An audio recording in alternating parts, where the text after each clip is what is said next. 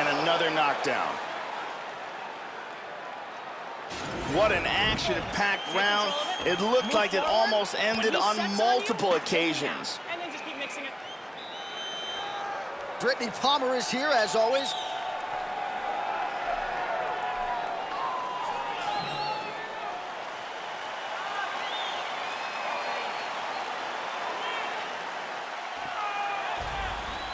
You ready? You ready? Second round here. He's definitely going to want to start this round off fast and try to pick up where he left off. His opponent was in big trouble at the end of that round.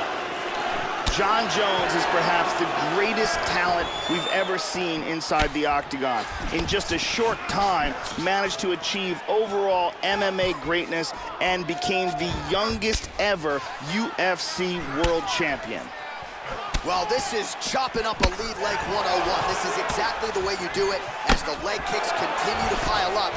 And you can already start to see his opponent slowing down a little bit. May want to check one of those, bro. Really hurt him with that hook to the body. Big Beautiful body body, shot. shot. there, too. Oh, head kick. Oh! He is rocked right here. He's trying to stay up. Oh, he's going for it here. Big spinning back fist lands. There's a good knee to the body. Oh, he's got to be careful here. Oh, man, with that right leg kick.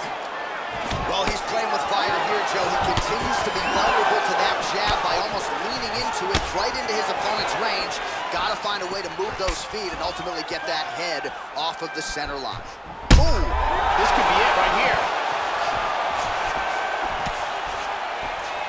Body kick, look at that.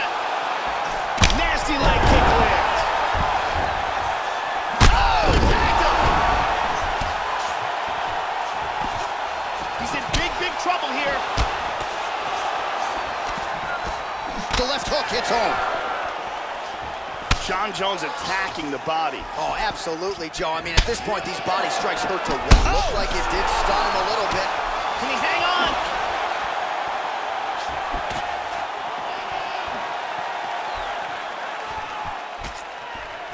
Jones gets hit by that leg kick. May not be a bad idea to start to check some of these.